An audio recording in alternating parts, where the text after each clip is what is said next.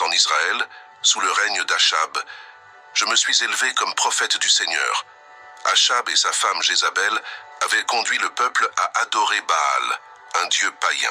Défiant la fidélité au vrai Dieu d'Israël, je me suis approché d'Achab et, avec l'autorité que Dieu m'avait donnée, j'ai déclaré « Je jure par le nom du Seigneur, le Dieu d'Israël que je sers, qu'il n'y aura ni rosée ni pluie au cours des prochaines années, sauf par ma parole. » C'était un défi audacieux, mais nécessaire pour démontrer la puissance du Seigneur face à l'idolâtrie régnante. Après cette proclamation, le Seigneur m'a guidé pour me cacher près du ruisseau de Kérit, à l'est du Jourdain. Là, les corbeaux me portèrent du pain et de la viande le matin et le soir, et je buvais de l'eau du ruisseau. Au milieu de la solitude, j'ai trouvé réconfort et force dans la présence constante de Dieu. Cependant, avec le temps, le ruisseau s'est asséché en raison du manque de pluie. C'est alors que le Seigneur m'a dit, Lève-toi et va à Sarepta de Sidon, et reste là. J'ai ordonné à une veuve de cet endroit de me fournir de la nourriture. J'ai obéi, partant pour une terre étrangère, faisant confiance à la providence divine. En arrivant à Sarepta, j'ai trouvé la veuve et lui ai demandé un peu d'eau et un morceau de pain. Elle, dans sa humble condition, a répondu Je jure par le nom du Seigneur ton Dieu que je n'ai pas de pain cuit, mais seulement une poignée de farine dans un pot et un peu d'huile dans un vase. À Sarepta, devant cette veuve, je ressens le poids de la mission que Dieu a placée sur moi.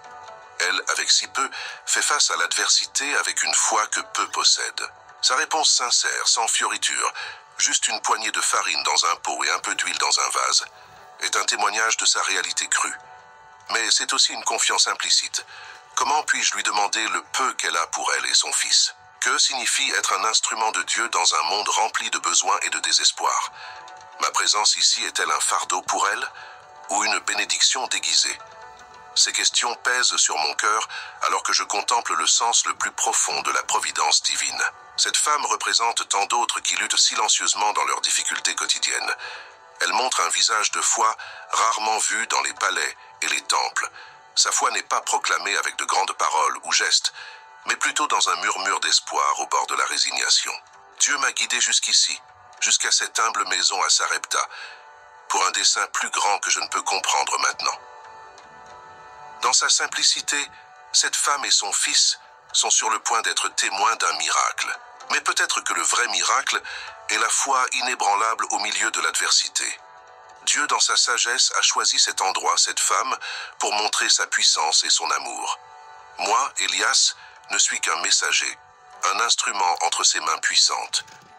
Que cette expérience à Sarepta serve de rappel humble que, même dans les plus grands besoins, la provision de Dieu est toujours à notre portée, souvent de manière que nous n'attendons pas ou ne comprenons pas immédiatement. J'ai alors dit à la veuve, N'aie pas peur, rentre chez toi et fais comme tu l'as dit, mais d'abord fais-moi un petit gâteau avec ce que tu as et apporte-le-moi. Ensuite, fais quelque chose pour toi et ton fils, car ainsi parle le Seigneur, le Dieu d'Israël. Le pot de farine ne s'épuisera pas, et la cruche d'huile ne sera pas vide jusqu'au jour où le Seigneur enverra de la pluie sur la terre.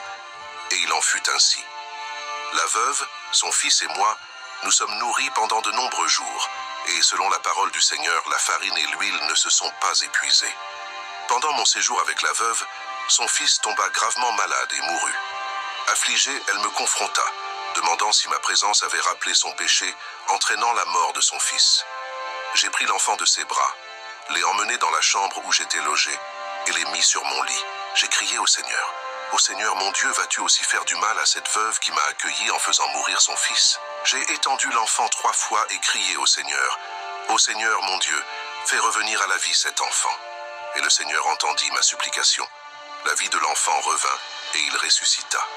Je descendis avec lui de la chambre et le remis à sa mère. La veuve s'exclama alors, Maintenant je sais que tu es un homme de Dieu, et que la parole du Seigneur de ta bouche est vraie. Après ces événements, le Seigneur me dit, Va te présenter à Achab, car je vais envoyer de la pluie sur la terre. Ainsi, je me préparais à affronter Achab. En chemin, je rencontrai Abdias, un fervent disciple du Seigneur, qui avait caché cent prophètes du Seigneur pour les protéger de Jézabel. Abdias me reconnut et s'agenouilla devant moi. Je lui demandai d'aller dire à Achab que j'étais là. Quand Achab me vit, Il m'accusa d'être le perturbateur d'Israël. Je répondis fermement, Je n'ai pas perturbé Israël, mais toi et la maison de ton père, quand vous avez abandonné les commandements du Seigneur et suivi les Baals. En affrontant Achab, je ressens la tension de la vérité contre le pouvoir. Ces paroles, le perturbateur d'Israël, résonnent dans mon esprit, m'accusant d'être la cause du tumulte en Israël. Cependant, je sais que la véritable perturbation vient de ceux qui ont abandonné les chemins du Seigneur. L'ironie de ces paroles ne m'échappe pas. Lui, un roi égaré, me voit comme un prophète de Dieu, la source de ses problèmes, pas seulement une. Prononcez J'ai perturbé Israël, mais toi et la maison de ton père, quand vous avez abandonné les commandements du Seigneur et suivi les Baals. Ces paroles ne sont pas les miennes, mais du Seigneur. Elles portent un poids, une autorité qui transcende ma propre personne. Je ne suis qu'un véhicule, un messager de la vérité divine. En ce moment, je ressens le poids de la responsabilité d'être un prophète. Ce n'est pas une tâche facile de confronter un roi, de dénoncer son idolâtrie et sa corruption. Il y a un risque, un danger inhérent. Mais le courage de dire la vérité vient de ma foi inébranlable en le Dieu d'Israël. Achab, avec son pouvoir et son influence, pourrait facilement me détruire. Cependant, le pouvoir terrestre ne m'intimide pas, car je sais que je sers un Dieu qui est plus grand que n'importe quel roi ou royaume. Cette confrontation n'est pas seulement entre deux hommes, mais entre deux chemins de vie. Le chemin de la fidélité à Dieu et le chemin de l'apostasie et de l'idolâtrie. Ici, devant Achab, j'affirme non seulement ma foi, mais aussi la souveraineté du Dieu que je sers. C'est un moment de vérité, une confrontation entre le sacré et le profane, entre la volonté de Dieu et les désirs des hommes. Dans cette impasse, mon espoir et ma prière sont qu'Israël choisisse de retourner au Seigneur, abandonnant les faux dieux qui les ont égarés vers l'erreur et la ruine. J'ai donc défié Akab de rassembler tout Israël sur le mont Carmel, avec les 450 prophètes de Baal et les 400 prophètes d'Achéra qui mangeaient à la table de Jézabel. Sur la montagne, j'ai confronté le peuple d'Israël. Jusqu'à quand vacillerez-vous entre deux pensées? Si le Seigneur est Dieu, suivez-le, mais si Baal est Dieu, suivez-le. Cependant, le peuple ne répondit rien. J'ai alors proposé un défi. Je suis le seul des prophètes du Seigneur qui soit resté, mais Baal a 450 prophètes. Apportez-nous deux bœufs. Qu'ils choisissent un bœuf, le coupent en morceaux et le placent sur le bois, mais n'allument pas le feu. Je préparerai l'autre bœuf et le mettrai sur le bois, mais je n'allumerai pas le feu. Alors criez au nom de votre Dieu, et moi je crierai au nom du Seigneur. Le Dieu qui répondra par le feu est le vrai Dieu. Tout le peuple fut d'accord avec la proposition. Les prophètes de Baal choisirent un bœuf, le préparèrent et crièrent le nom de Baal depuis le matin jusqu'au midi, mais il n'y eut aucune réponse. Ils dansaient autour de l'autel qu'ils avaient fait, et je me moquais d'eux. Criez plus fort, après tout, il est un Dieu. Peut-être qu'il médite ou qu'il est occupé ou en voyage.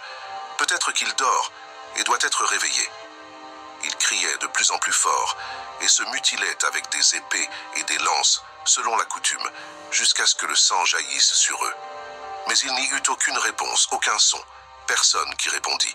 Quand vint mon tour, j'ai reconstruit l'autel du Seigneur qui était en ruine. J'ai pris douze pierres, une pour chaque tribu descendante de Jacob, à qui le Seigneur avait dit, Ton nom sera Israël. Avec ces pierres, j'ai construit un autel au nom du Seigneur et creusé un fossé autour de lui. J'ai arrangé le bois, coupé le bœuf en morceaux et les placé sur le bois. Ensuite, j'ai dit, remplissez quatre grands récipients d'eau et versez-les sur l'Holocauste et sur le bois. Après avoir fait cela, j'ai ordonné, faites-le encore une fois. Et ils l'ont fait de nouveau. Faites-le une troisième fois, j'ai ordonné. Et ils l'ont fait une troisième fois. L'eau coulait autour de l'autel et remplissait même le fossé. Ici, sur le mont Carmel, devant l'autel en ruine, je ressens la gravité du moment qui se déroule. Reconstruire l'autel du Seigneur, pierre par pierre, est un acte chargé de symbolisme et de sens. Chaque pierre représente l'une des tribus d'Israël, un rappel du pacte rompu, de l'unité perdue et de la foi oubliée. Euh, cet autel, autrefois un lieu de rencontre avec Dieu, gît maintenant en morceaux, un reflet du peuple d'Israël lui-même. Restaurer cet autel est plus qu'un acte physique. C'est un appel à la repentance, une invitation au renouvellement de l'alliance avec Dieu. En posant chaque pierre, je ressens la présence de Dieu, sa tristesse devant l'infidélité de son peuple, mais aussi son espoir incessant en sa rédemption. Tandis que j'arrange le bois et prépare le bœuf pour le sacrifice, je pense à la foi que cet acte exige. Verser de l'eau sur l'autel, encore et encore, semble un non-sens, surtout en période de sécheresse. Mais c'est une démonstration puissante de la confiance en Dieu, un défi à l'évidence, une foi qui transcende la logique humaine. Cet acte inondant l'autel n'est pas seulement pour montrer la puissance de Dieu, mais pour éliminer tout doute sur le miracle qui est sur le point de se produire. Je veux que tous voient qu'il n'y a pas de tour de passe-passe, aucune manipulation humaine, seulement la pure manifestation du pouvoir divin. Je ressens un mélange d'attente et de sérénité. Je sais que Dieu répondra, mais je reconnais aussi la magnitude de ce que je demande. Je demande un signe visible de l'invisible, un témoignage irréfutable de sa présence et de sa puissance. Sur cet autel reconstruit avec foi et espoir, je fais plus que préparer un sacrifice.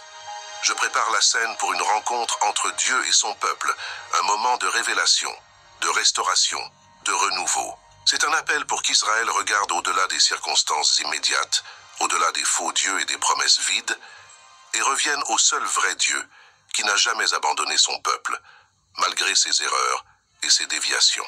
L'heure du sacrifice approche, et je me suis approché et ai prié.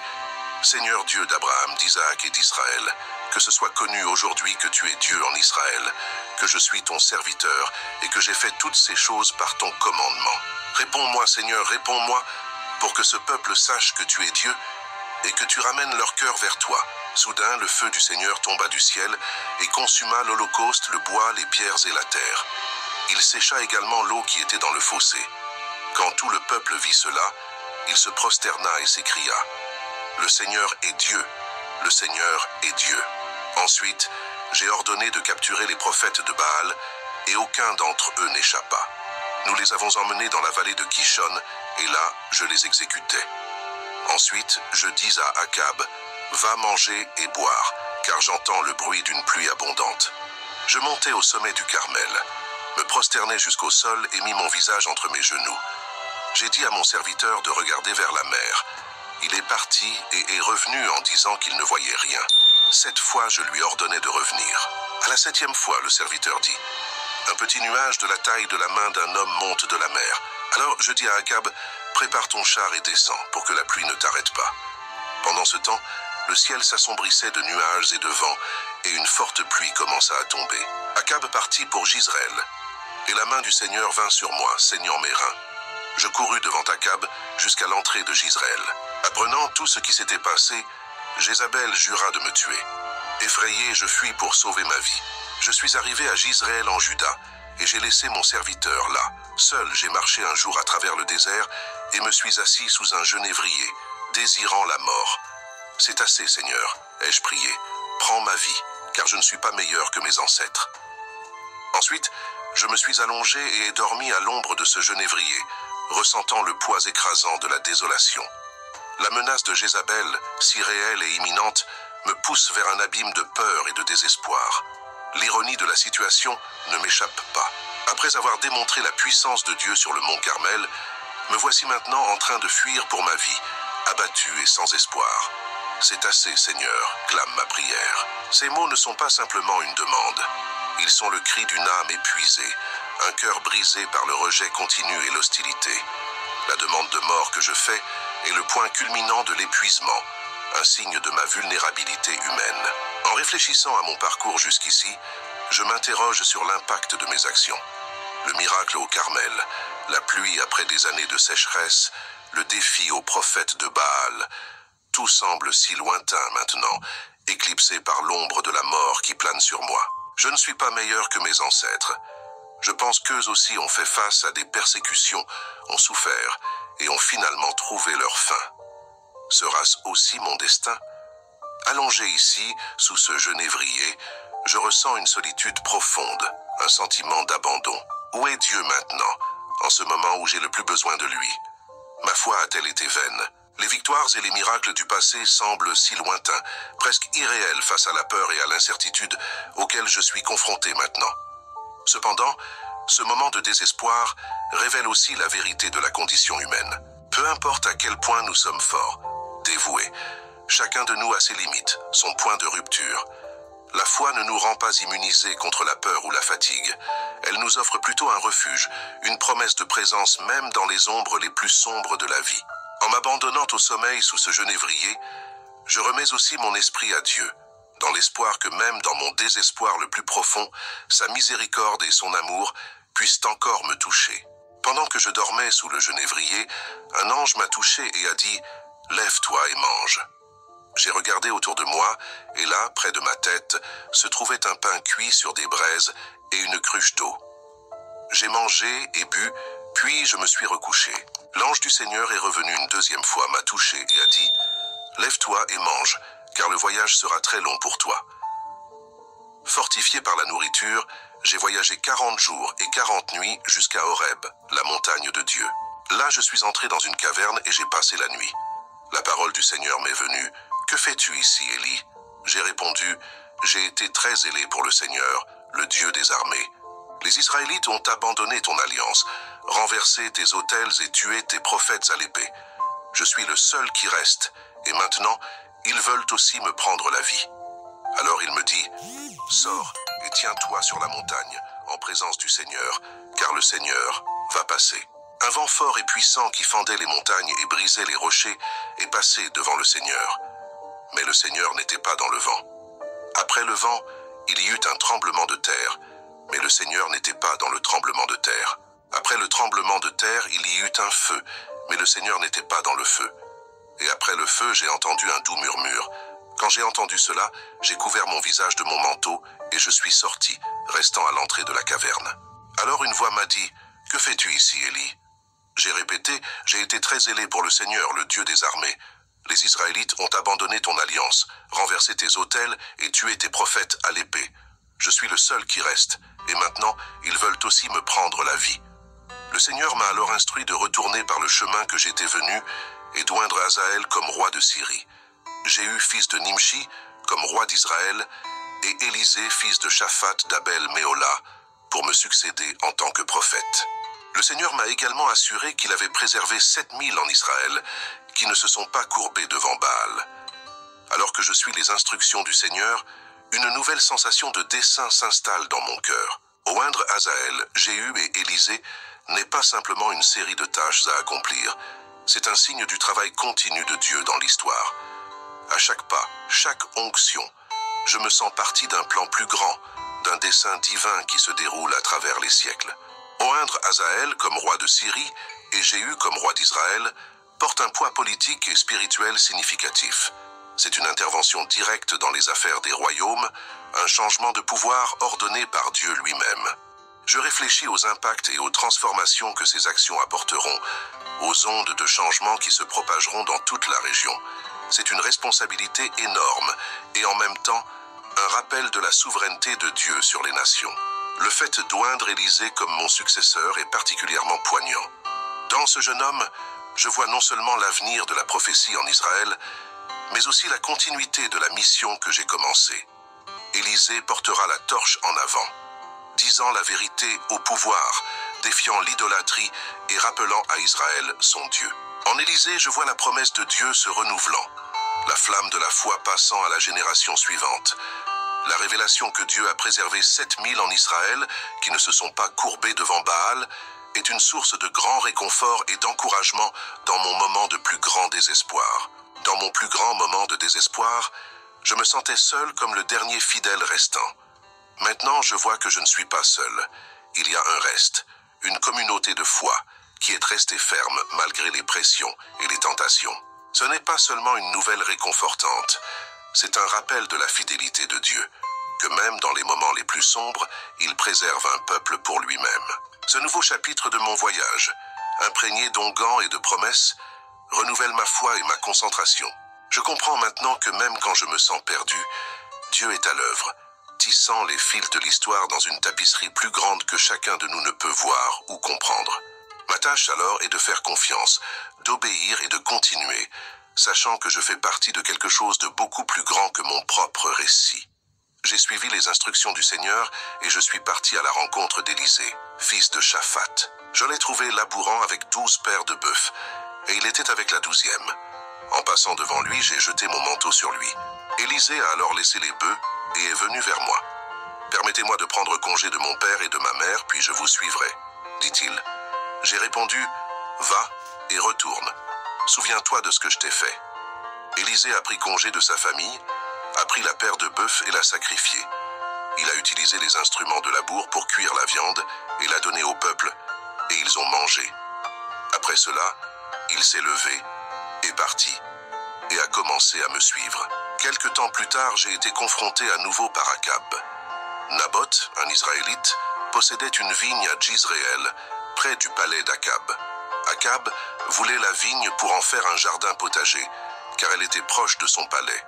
Il a offert à Naboth un meilleur prix ou une vigne meilleure en échange, mais Naboth a refusé, disant Que le Seigneur me garde de te donner l'héritage de mes ancêtres. Jézabel a alors comploté pour que Naboth soit faussement accusé et exécuté, permettant à Akab de prendre possession de la vigne. Le Seigneur m'a envoyé à Akab, et je l'ai trouvé dans la vigne de Naboth. Je lui ai dit Tu as assassiné et pris possession et j'ai prophétisé à l'endroit où les chiens ont léché le sang de Naboth. Les chiens lécheront ton propre sang. Akab s'est humilié devant le Seigneur après avoir entendu ma prophétie, déchirant ses vêtements, se vêtant de sac et jeûnant. Le Seigneur m'a alors dit, Tu as vu comment Akab s'est humilié devant moi. À cause de cela, je ne ferai pas venir le désastre pendant sa vie, mais dans la vie de son fils. J'observe Akab, le roi d'Israël, dans un état d'humiliation et de repentir devant le Seigneur, et je ne peux m'empêcher de me sentir perplexe et, d'une certaine manière, ému. C'est le même Akab qui s'est livré à l'idolâtrie, qui a permis à Jézabel de persécuter les prophètes du Seigneur, et pourtant, le voici, déchirant ses vêtements, se vêtant de sac et jeûnant en signe de repentance. La réaction de Dieu à ce geste d'Akab est révélatrice. Il reconnaît l'humiliation d'Akab et décide de différer le désastre qu'il avait prophétisé. Cela me fait réfléchir à la nature de la miséricorde divine. Dieu, dans sa justice, est toujours prêt à pardonner et à différer la punition lorsqu'il y a un repentir sincère. Cela montre que même dans l'âme la plus sombre, il y a de la place pour la rédemption, s'il y a un véritable retour à Dieu. En même temps, cette situation illustre la complexité de la justice divine. Le report du désastre à la vie du fils d'Akab, au lieu d'éliminer complètement la punition, me fait réfléchir aux conséquences générationnelles du péché et de l'injustice. La méchanceté d'un leader n'affecte pas seulement lui-même, mais peut avoir des ramifications qui s'étendent sur des générations. Cette dynamique entre justice et miséricorde, entre conséquences immédiates et différées, est un mystère qui m'échappe souvent. Cependant, elle sert de rappel que les voies de Dieu sont plus élevées que les nôtres et que sa compréhension va au-delà de ce que nous pouvons comprendre. L'humilité d'Akab, bien que tardive, et la réponse de Dieu me rappellent qu'il n'est jamais trop tard pour se repentir et que Dieu est toujours prêt à écouter et à répondre à un cœur contrit. Cette leçon est un appel pour nous tous, pour nous rappeler toujours de chercher Dieu avec sincérité, reconnaissant nos erreurs et cherchant sa miséricorde. Mes jours ont continué à être marqués par des confrontations et des messages prophétiques. Il y a eu un épisode où Oshosias, fils d'Oshosias, est tombé de la galerie du palais à Samarie et a été gravement blessé. Il a envoyé des messagers pour consulter Baal Zébub, le dieu des crons, sur sa guérison.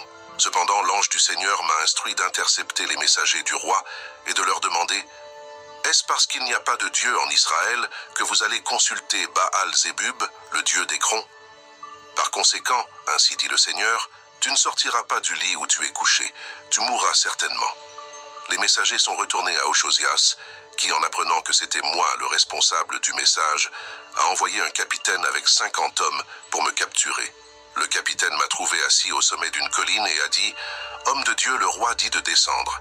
Mais j'ai répondu Si je suis un homme de Dieu, que le feu descende du ciel et te consume, toi et tes cinquante hommes. Et le feu est descendu du ciel et les a consumés. Ochosias a envoyé un autre capitaine avec ses cinquante hommes et la même chose s'est produite. Dans le troisième groupe, le capitaine s'est agenouillé devant moi et a imploré pour sa vie et la vie de ses hommes. L'ange du Seigneur m'a dit d'aller avec lui. Alors je suis descendu et j'ai répété à Ochosias la même prophétie selon laquelle il mourrait dans son lit, et c'est arrivé. Mes derniers jours sur terre approchaient. Moi et Élisée avons quitté Gilgal, J'ai dit à Élisée de rester, car le Seigneur m'avait envoyé à Bethel, mais Élisée a répondu, Je jure par le nom du Seigneur et par ta vie que je ne te laisserai pas. Alors, nous sommes allés ensemble à Bethel. Les prophètes de Bethel sont venus à Élisée et lui ont dit, Tu sais que le Seigneur va prendre ton maître aujourd'hui. Et il a répondu, Oui, je le sais. Taisez-vous. De Bethel, le Seigneur m'a envoyé à Jéricho, et de Jéricho au Jourdain. À chaque endroit, Élisée insistait pour m'accompagner, et les prophètes locaux répétaient le même message sur mon départ imminent. Arrivé au Jourdain, cinquante prophètes nous observaient de loin. J'ai pris mon manteau, l'ai enroulé et ai frappé les eaux. Elles se sont divisées d'un côté et de l'autre, et nous avons traversé à pied sec. Alors que je voyage de Bethel à Jéricho et de là au Jourdain, je ressens la proximité d'une fin qui approche à chaque pas, à chaque arrêt. La présence fidèle d'Élysée à mes côtés est un rappel constant que ma traversée terrestre atteint son apogée. Les prophètes locaux, avec leurs paroles sur mon départ imminent, ajoutent une note solennelle à chaque rencontre. Il y a une certaine beauté dans cette pèlerinage final, marqué par des adieux et par la transmission d'un héritage. J'observe Élysée, je vois sa détermination à ne pas me laisser, et je ressens un mélange de fierté et de tristesse. Il représente la continuité du travail que j'ai commencé, la perpétuation de la parole du Seigneur en Israël. Sa loyauté n'est pas seulement envers moi, mais envers l'appel que Dieu a placé dans sa vie. En arrivant au Jourdain, avec cinquante prophètes observant de loin, je ressens la grandeur du moment. L'acte de diviser les eaux du Jourdain, un miracle qui résonne avec le puissant exploit de Moïse, est plus qu'un signe d'autorité prophétique. C'est une démonstration physique de la présence et du pouvoir de Dieu qui accompagne ses serviteurs. Enrouler le manteau et frapper les eaux est un geste chargé de symbolisme. Ce manteau que je passerai bientôt à Élysée est un symbole de l'appel prophétique, un manteau de responsabilité, de pouvoir et de service à Dieu. En continuant de marcher et de parler, soudain, un char de feu avec des chevaux de feu est apparu et nous a séparés. Alors, j'ai été emmené au ciel dans un tourbillon. Élisée a vu cela et a crié Mon père, mon père, les chars et les cavaliers d'Israël. Et il ne m'a plus vu. Élisée a ensuite pris ses propres vêtements et les a déchirés en deux parties. Il a pris mon manteau qui était tombé de moi, est revenu, et s'est arrêté au bord du Jourdain. Il a pris le manteau qui était tombé de moi, a frappé les eaux, et a demandé. Élisée a ensuite pris ses propres vêtements et les a déchirés en deux parties. Il a pris mon manteau qui était tombé de moi, est revenu, et s'est arrêté au bord du Jourdain. Il a pris le manteau qui était tombé de moi, a frappé les eaux, et a demandé Où est le Seigneur, le Dieu d'Élie Quand il a frappé l'eau, elle s'est divisée de chaque côté, et Élisée a traversé. Les prophètes de Jéricho qui observaient ont dit L'esprit d'Élie repose sur Élisée, et ils sont allés à sa rencontre, se prosternant devant lui. Ainsi mon voyage terrestre a pris fin, mais mon héritage a continué à travers Élysée, et les nombreuses générations qui ont suivi, se souvenant toujours du pouvoir et de la fidélité du Dieu d'Israël.